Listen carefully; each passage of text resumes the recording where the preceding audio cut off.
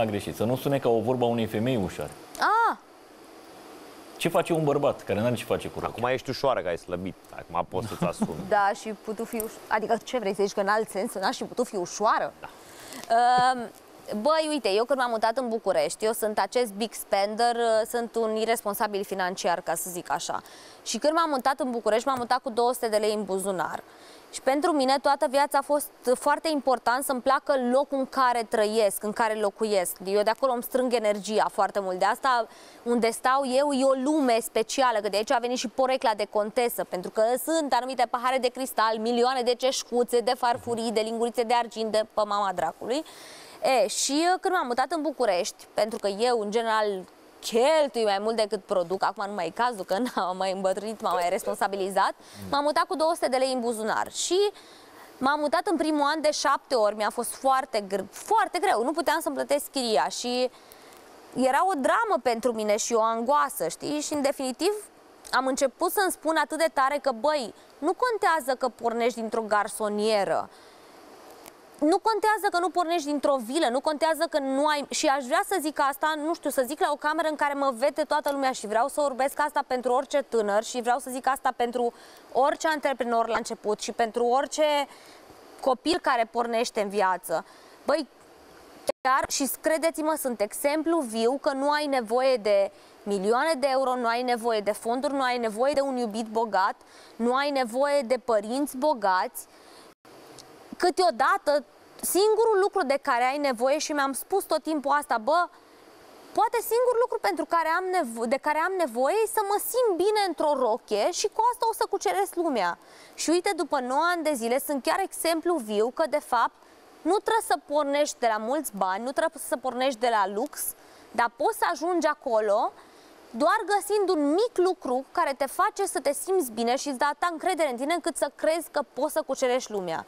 Și pentru mine, să știi, poate, poate să fie trist, dar acum de multe ori a fost trist pentru că mi-a fost greu și ăsta a fost un drum greu și uh, vreau să se înțeleagă că mi-a fost greu, știi? Că de multe ori oamenii care se uită la noi zic ce pui mai face asta, mă, pune trei poze mișto cu ea, dă dracu și face niște like-uri și face niște bani.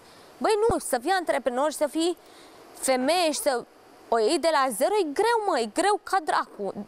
E foarte greu, slavă cerului pentru ginul tonic.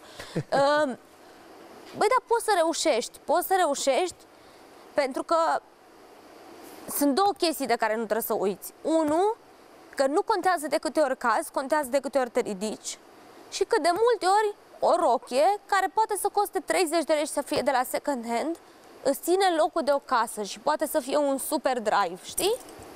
Greu a însemnat și, Și da.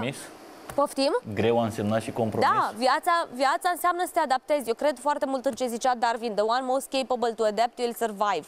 Dar compromisul nu înseamnă neapărat să te vălești în niște paturi.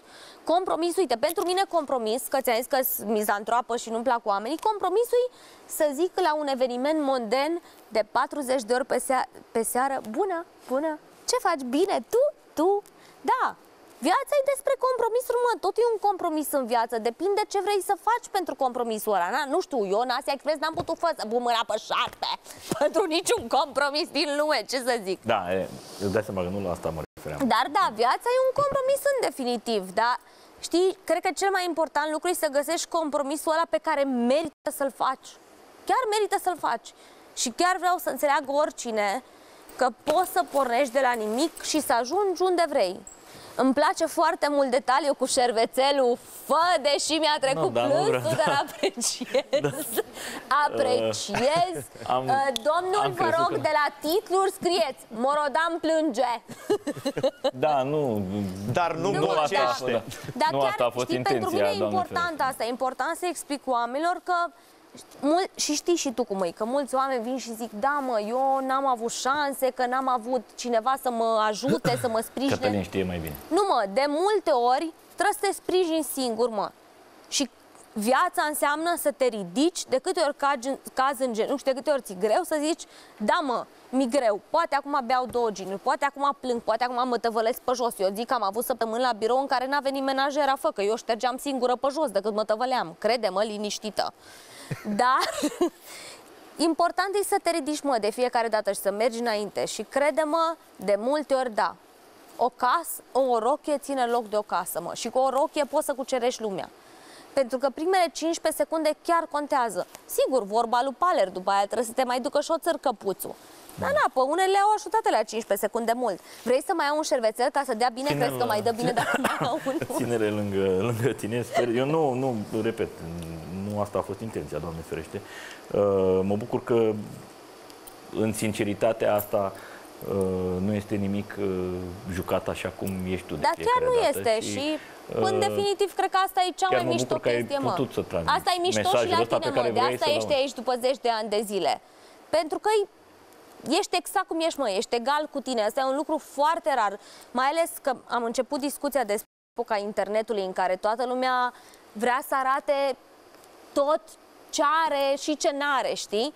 Băi, când reușești într-o lume a aparențelor, când toată lumea vrea să fie ceea ce nu este și într-o lume a perfecțiunii, în care toți vor să pară că viața lor e perfectă, când reușești să vii să zici, băi, eu asta sunt, îți place, nu-ți place, pusi pai, mare lucru. Și de asta ești tu aici, mă. Poate și de asta. Da. Sau Și poate ăștia pentru că doi n-a cu tine, avut că știi, ăștia ci dă Sau ceva poate timp. pentru că n-a avut Aia nimeni... așa e acolo, dă ceva timp.